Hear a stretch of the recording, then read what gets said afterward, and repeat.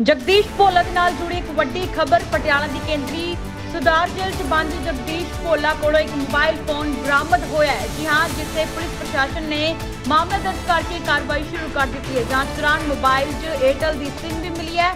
ਇਸ ਤੋਂ ਇਲਾਵਾ ਫੋਨ ਦੇ ਨਾਲ ਚਾਰਜਰ ਵੀ ਬਰਾਮਦ ਹੋਇਆ। ਪੁਲਿਸ ਦੀ ਇਸ ਪੁਲਿਸ ਇਸ ਗੱਲ ਦੀ ਜਾਂਚ ਕਰ ਰਹੀ ਹੈ ਅਤੇ ਉਸ ਕੋਲ ਮੋਬਾਈਲ ਫੋਨ ਤੇ ਹੋਰ ਸਮਾਨ ਕਿੱਥੋਂ ਆਇਆ ਇਸ ਗੱਲ ਦੀ ਵੀ ਬਰੀਕੀ ਦੇ ਨਾਲ ਜਾਂਚ ਕੀਤੀ ਜਾ ਰਹੀ ਹੈ। ਜ਼ਿਕਰਯੋਗ ਹੈ ਕਿ ਪਿਛਲੇ ਮਹੀਨੇ ਪੰਜਾਬ ਤੇ ਹਰਿਆਣਾ ਹਾਈ ਕੋਰਟ ਨੇ ਭੋਲਾ ਦੀ ਜ਼ਮਾਨਤ ਅਰਜ਼ੀ ਰੱਦ ਕਰ ਦਿੱਤੀ ਸੀ ਤੇ ਹਾਈ ਕੋਰਟ ਨੇ ਪਿਛਲੇ ਸਾਲ ਦਸੰਬਰ 'ਚ ਪਟੀਸ਼ਨ ਤੇ ਫੈਸਲਾ ਸੁਰੱਖਿਅਤ ਰੱਖ ਲਿਆ ਸੀ।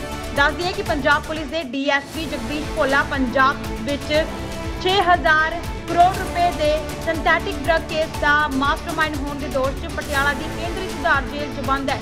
ਮੋਹਾਲੀ ਦੀ ਇੱਕ ਵਿਸ਼ੇਸ਼ ਅਦਾਲਤ ਨੇ ਜਗ- ਭੋਲਾ ਨੂੰ ਨਸ਼ਾ ਤਸਕਰੀ ਅਤੇ ਅਸਲਾ ਐਕਟ ਤਹਿਤ ਦੋਸ਼ੀ ਕਰਾਰ ਦਿੰਦਿਆਂ 24 ਸਾਲ ਦੀ ਕੈਦ ਸੁਣਾਈ ਹੈ। ਭੋਲਾ ਨੇ ਕਈ ਪੰਜਾਬੀ ਫਿਲਮਾਂ ਦੇ ਵਿੱਚ ਕੰਮ ਕੀਤਾ ਹੈ।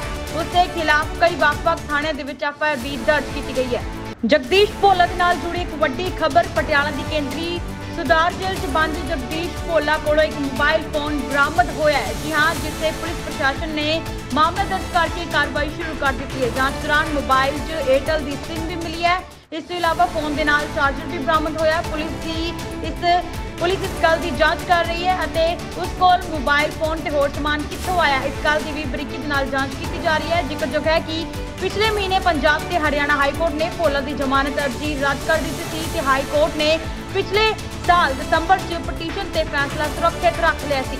ਦੱਸ ਦਈਏ ਕਿ ਪੰਜਾਬ ਪੁਲਿਸ ਦੇ ਡੀਐਸਪੀ ਜਗਦੀਸ਼ ਭੋਲਾ ਪੰਜਾਬ ਵਿੱਚ 6000 ਕਰੋੜ ਰੁਪਏ ਦੇ ਸਿੰਥੈਟਿਕ ਡਰੱਗ ਕੇਸ ਦਾ ਮਾਸਟਰਮਾਈਂਡ ਹੋਣ ਦੇ ਦੋਸ਼ 'ਚ ਪਟਿਆਲਾ ਦੀ ਕੇਂਦਰੀ ਸੁਧਾਰ ਜੇਲ੍ਹ 'ਚ ਬੰਦ ਹੈ। ਮੋਹਾਲੀ ਦੀ ਇੱਕ ਵਿਸ਼ੇਸ਼ ਅਦਾਲਤ ਨੇ ਜਗ- ਜਗਦੀਸ਼ ਭੋਲਾ ਨੂੰ ਨਸ਼ਾ ਤਸਕਰੀ ਅਤੇ ਅਸਲਾ ਐਕਟ ਤਹਿਤ ਦੋਸ਼ੀ ਕਰਾਰ ਦਿੰਦਿਆਂ 24 ਸਾਲ ਦੀ ਕੈਦ ਸੁਣਾਈ ਹੈ। ਭੋਲਾ ਨੇ ਕਈ ਪੰਜਾਬੀ ਫਿਲਮਾਂ ਦੇ ਵਿੱਚ ਕੰਮ ਕੀਤਾ ਹੈ। ਉਸ ਦੇ ਖਿਲਾਫ ਕਈ ਵੱਖ-ਵੱਖ ਥਾਣਿਆਂ ਦੇ ਵਿੱਚ ਐਫਆਈਆਰ ਵੀ ਦਰਜ ਕੀਤੀ ਗਈ ਹੈ।